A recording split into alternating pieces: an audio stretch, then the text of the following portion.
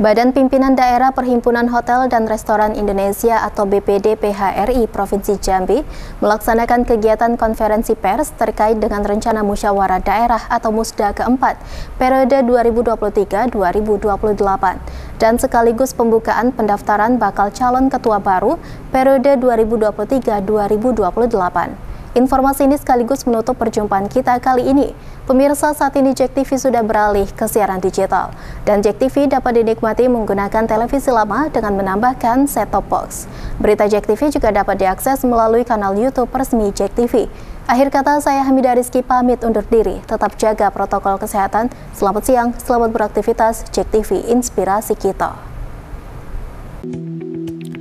Kamis 17 November 2022 bertempat di Sekretariat PHRI Provinsi Jambi. BPD PHRI Provinsi Jambi menggelar kegiatan konferensi pers dengan tujuan akan dilakukannya musyawarah daerah atau musda keempat periode 2023-2028 dan sekaligus pembukaan pendaftaran bakal calon ketua baru periode 2023-2028. Ini oleh uh, sebelah kiri saya Bapak Haris Ishak Espa sebagai uh, ketua daripada steering committee dalam pelaksanaan musyawarah daerah keempat BPDPR ini.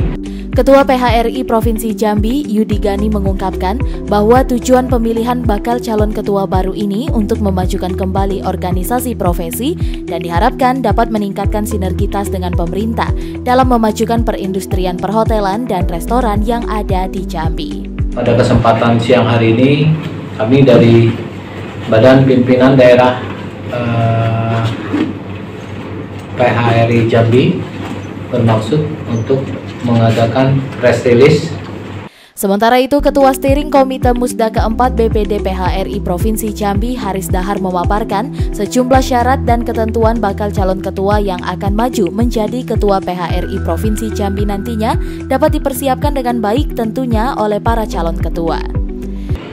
Artinya kami eh, saring yang pertama melihat eh, domisili calon bakal ketua berdomisili di kota Jambi karena ibu kota kita kan Jambi. Itu yang pertama. Yang kedua pastinya beliau atau mereka adalah pemilik dan atau yang memiliki kuasa pemilik hotel dan restoran yang terdaftar sebagai anggota PHRI Kemudian Rudi Zhang selaku Humas dan Publikasi Musda keempat BPD PHRI Provinsi Jambi menjelaskan bahwa kegiatan Musda keempat BPD PHRI Provinsi Jambi ini akan dihadiri oleh Ketua Umum Pusat PHRI dan pemerintah daerah Provinsi Jambi.